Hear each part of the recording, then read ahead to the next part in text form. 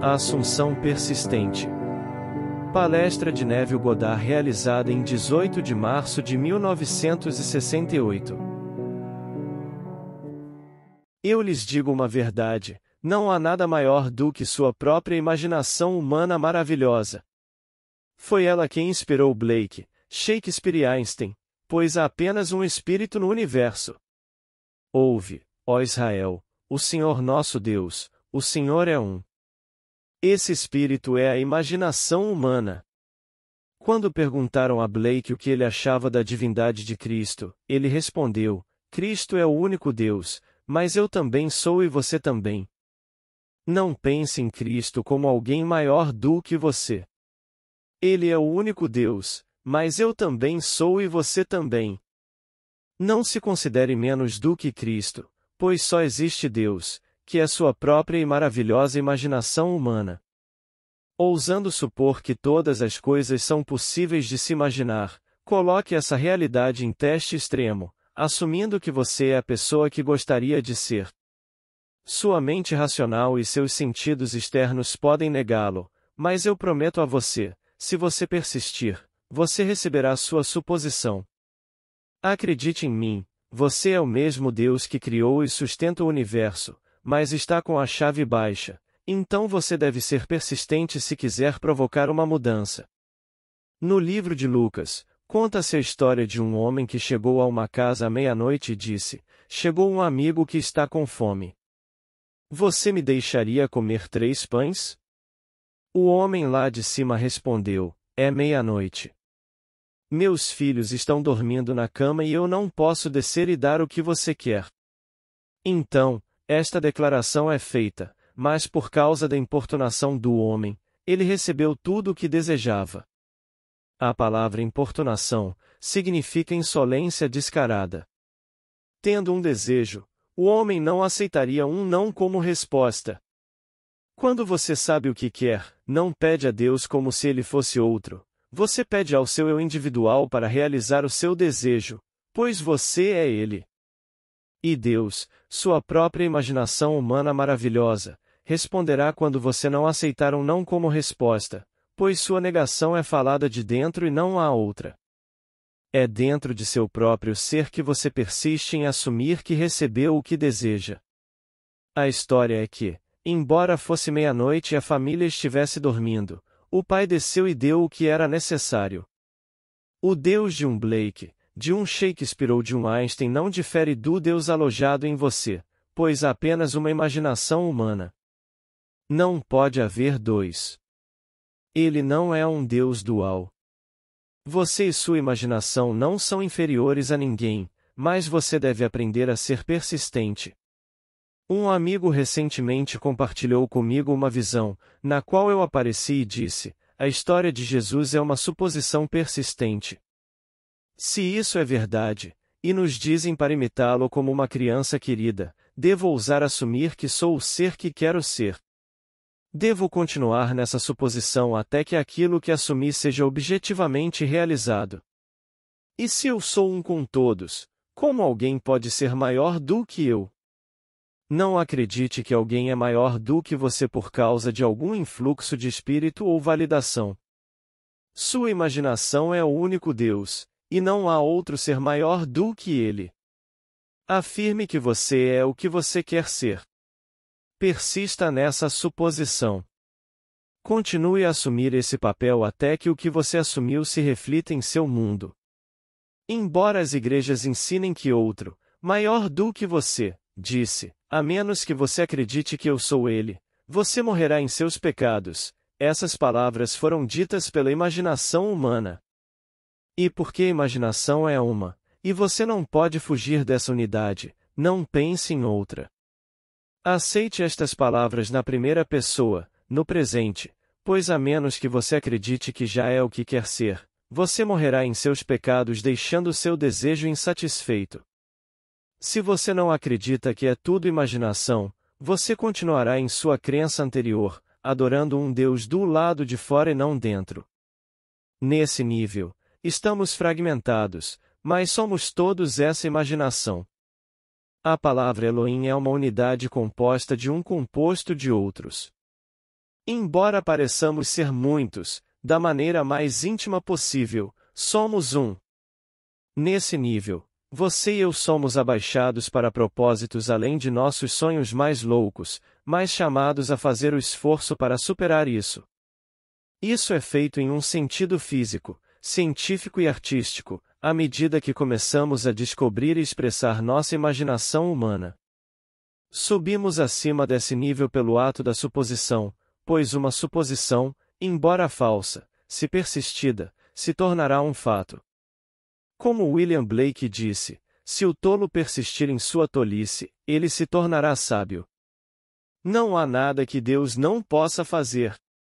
Não pense que aquele que é fabulosamente rico tem um influxo de espírito diferente do seu. Ele está imaginando riqueza, consciente ou inconscientemente, mas você pode fazê-lo conscientemente.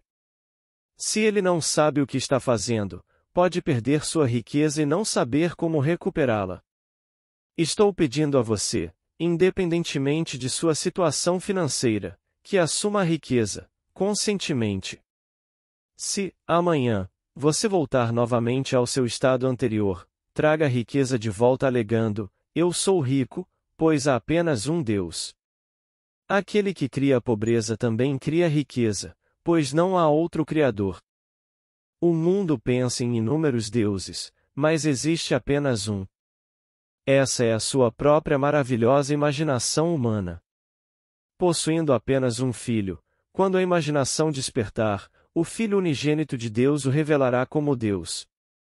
A mesma coisa acontecerá a outro, depois a outro, e eventualmente todos verão o mesmo Filho, que revelará o indivíduo como Deus Pai.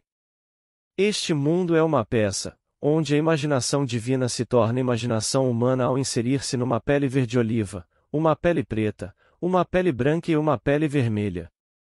Embora pareçamos ser diferentes, todos veremos o Filho unigênito de Deus, provando que há apenas um Deus. O objetivo por trás da peça é expandir o poder criativo da imaginação. Aqui estamos fragmentados em inúmeras partes, destinadas a nos reunir no único Deus, o único Pai de todos. Comece agora a usar ativamente e constantemente sua imaginação, pois à medida que você prova seu poder criativo neste nível, você está despertando para um nível mais alto, e nascendo no mundo espiritual onde você sabe que é Deus. Prove a si mesmo que você é Deus, sentindo que seu desejo agora é um fato consumado. Ouça seus amigos falarem sobre você. Eles estão se regozijando por causa de sua boa sorte, ou estão expressando inveja? Imagine que suas palavras são verdadeiras. Persiste em imaginar que eles são verdadeiros. Continue imaginando que seu desejo já é um fato consumado, e quando for objetivamente realizado, a prova será sua. Pense em algo adorável que você gostaria de dar a outro. Então pergunte a si mesmo: Se você deu a ele e ele não aceitou, você gostaria de guardar para você? Se, por exemplo, você desse um milhão de dólares a um amigo, e ele não aceitasse, você estaria disposto a ficar com ele? Tenho certeza que sim. Então imagine dar o dinheiro a ele, depois dê aos outros da mesma forma. Você pode nem ter uma conta bancária, mas você ainda pode dar, porque não há ninguém para dar além de você mesmo. Só existe Deus cujo nome é Eu Sou. Ouve, ó Israel, o Senhor nosso Deus, o Senhor é um só. Esta grande confissão de fé está registrada no sexto capítulo, o quarto versículo do livro de Deuteronômio. O Senhor não é dois, nem uma dúzia, apenas um. O nome de Jesus é Eu Sou. Ele não é um ser superior além de você. Ele é a inspiração para tudo que você escreve, seja trivial ou profundo. A inspiração não vem de algum outro ser, porque não pode haver outro. Quando você se senta para escrever, os pensamentos vêm do seu próprio ser. É tolice pensar em algum outro ser como possuindo você. Os grandes poetas, como Shakespeare, Blake, não tiveram nenhum grande influxo espiritual movendo-se neles, que seja maior do que o influxo espiritual em você. Não pode ser, pois não há ninguém maior do que o eu. Quando alguém me diz que está sob a influência de algum poder maior, digo-lhe que isso não é possível. A inspiração vem das profundezas de sua própria alma. Talvez você tenha um item que gostaria de anunciar. Ao pensar no que seu cliente precisa, a resposta virá do fundo de sua própria alma, e você saberá o que precisa ser dito para promover seu produto. Você não recebe algum influxo de espírito fora de si mesmo, pois não há ninguém maior. Só existe Deus, e Deus é um. No livro dos Salmos, você é instruído, comunique-se consigo mesmo. Sente-se silenciosamente. Esteja em paz consigo mesmo e, de repente, os pensamentos começarão a fluir dentro de você, vindos de Deus. No princípio você era Deus. E no final, você e eu e todo o vasto mundo, de bilhões, seremos reunidos no único Deus.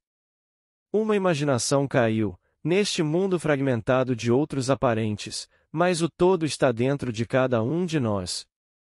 Os inimigos de um homem são os de sua própria casa, pois estão todos dentro dele.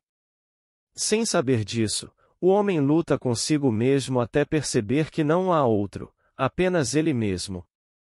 Então ele conta aos outros, na esperança de que possa convencer a si mesmo.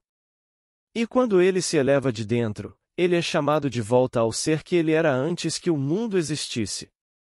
A queda na divisão foi deliberada para a expansão de Deus em unidade. Não havia outra maneira de expandir seu poder criativo, a não ser cair na limitação e superá-la. Eu vi isso tão claramente em visão. Primeiro, uma pedra apareceu. Então se fragmentou e, ao se juntar, tomou a forma de um homem sentado na postura de lótus, meditando, brilhando. E eu sabia que estava olhando para mim mesmo. E quando começou a brilhar como o sol, acordei em meu apartamento em Nova York. Estou lhe contando o que fiz, o que vi e o que experimentei. Cada um de nós tem um ser interior, que está nos meditando. O ser em você, e o ser em todos, formam o único ser perfeito, que caiu e se fragmentou. Um dia, o ser vivo de todos se unirá no único Deus, que caiu e se fragmentou. Você sabe o que você gostaria de ser? Atreva-se a assumir e, por uma semana, afirme: assumi que sou quem quero ser. Ainda estou assumindo que sou, e continuarei a assumir que sou, até que aquilo que assumi seja objetivamente realizado. Adormeça assumindo que é verdade, e deixe que esse ser vivo em você dê vida a ele. Deus Pai está sonhando no fundo de sua alma. Foi Ele quem começou a boa obra em vocês, e é Ele quem vai completá-la no dia de Jesus Cristo. Nesse dia, você será levado à mesma perfeição que o Pai em você, pois Deus está sonhando a si mesmo, em uma imagem maior de si mesmo, e você, o sonhador, está sonhando a si mesmo na imagem de si mesmo. Enquanto estiver aqui, você pode assumir qualquer desejo para si, e para aqueles que ama. Então, você pode ousar acreditar no que você assumiu. E se você continuar sua suposição, você a expressará. Mas você deve crer, ou morrerá em seus pecados.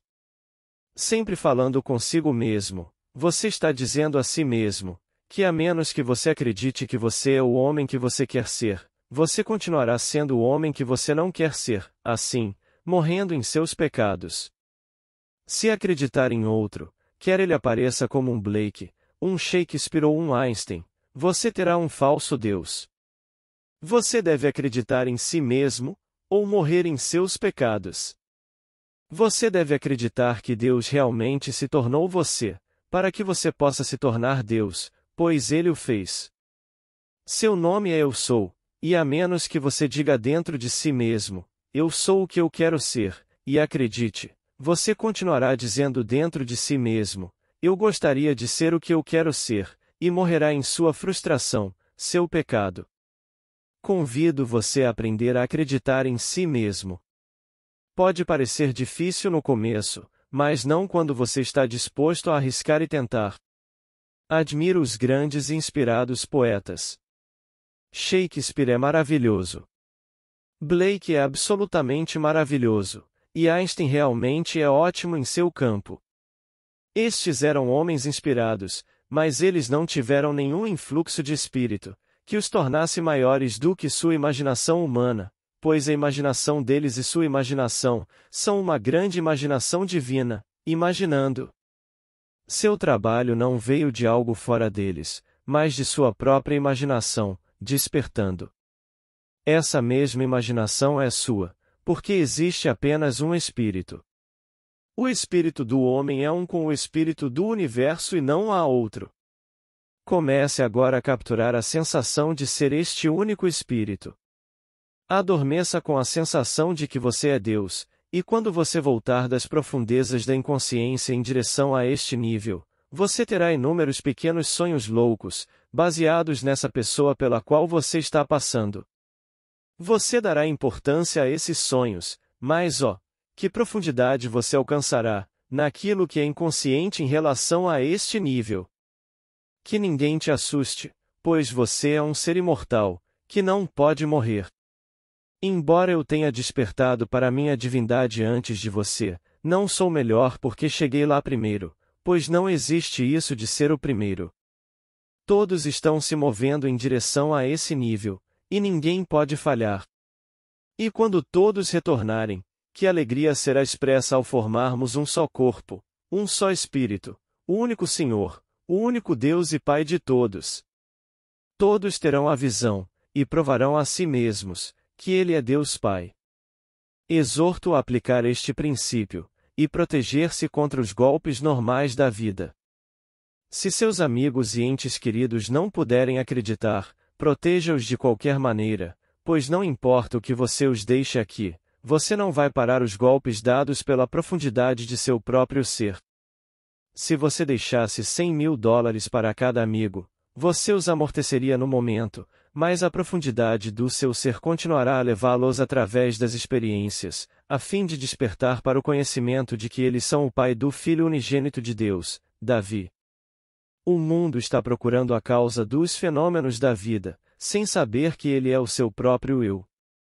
Que responsabilidade é sua, quando você descobre que sua consciência é a causa de tudo o que aconteceu, está acontecendo, e acontecerá com você.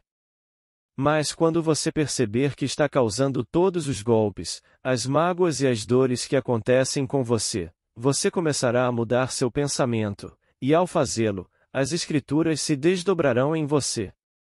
Agora vamos entrar no silêncio.